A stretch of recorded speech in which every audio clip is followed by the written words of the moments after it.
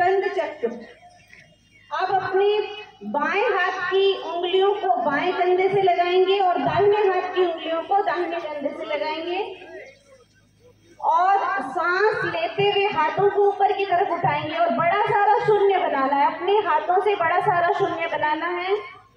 Clockwise अपने हाथों को घुमाएँगे। आगे से पीछे की तरफ़।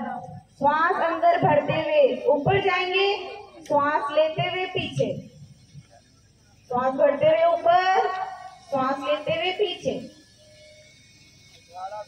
कम से कम चार बार इस प्रक्रिया को दोहराएँगे और इस प्रक्रिया को उसके बाद एंटी क्लॉकवाइज